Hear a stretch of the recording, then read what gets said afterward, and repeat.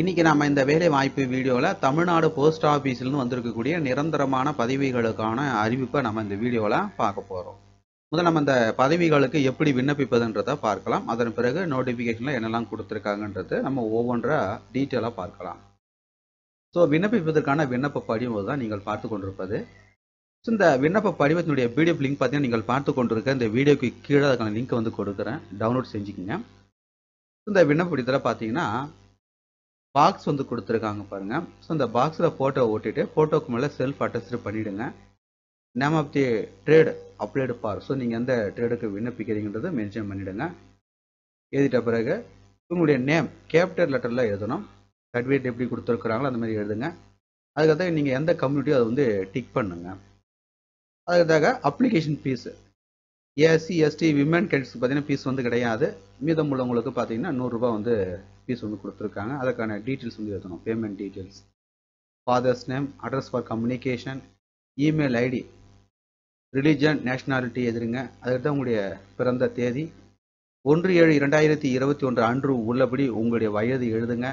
அதுக்கதான் education qualification technical qualification ஐடியில் நீங்கள் எந்த ட்ரேடு முடிச்சிருக்கீங்களோ அதோட டீட்டெயில்ஸ் எடுக்கணும் அதுக்காக டெக்னிக்கல் எக்ஸ்பீரியன்ஸ் டீட்டெயில்ஸ் எழுதிட்டு அதுக்காக டிரைவிங் லைசன்ஸ் டீட்டெயில்ஸ் எழுதிருங்க.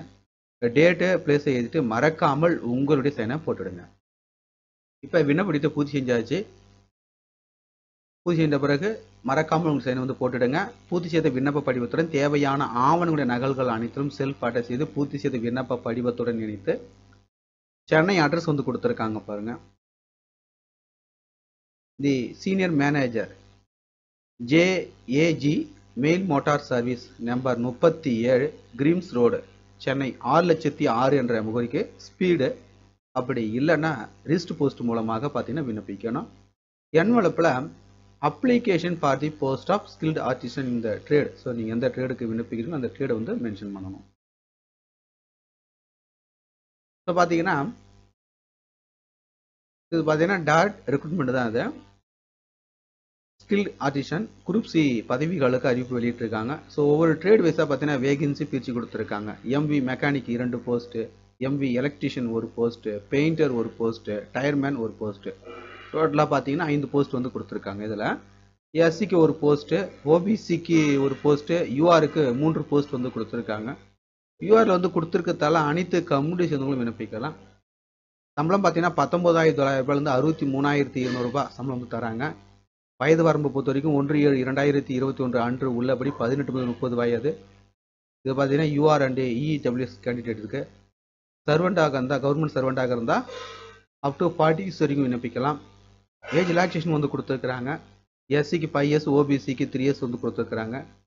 அதுக்கான எஜுகேஷன் குவாலிஃபிகேஷனை பொறுத்த வரைக்கும் a certificate the expected from any technical இன்ஸ்டியூஷனில் அல்லது எட்டாம் வகுப்பு தேர்ச்சி பெற்றுக்கணும் வித் ஒன் இயர் எக்ஸ்பீரியன்ஸ் இருக்கணும். எம்பி மெக்கானிக் பதவிக்கு விண்ணப்பிப்பவங்களுக்கு பார்த்தீங்கன்னா டிரைவிங் லைசன்ஸ் இருக்கணும் ஸோ செலெக்ஷனை பொறுத்த வரைக்கும் காம்படிட்டிவ் ட்ரேட் டெஸ்ட் மூலமாக பார்த்தீங்கன்னா செலெக்ஷன் வந்து பண்ணுறாங்க ஃபீஸை பொறுத்த வரைக்கும் நூறுரூபா வந்து கொடுத்துருக்காங்க.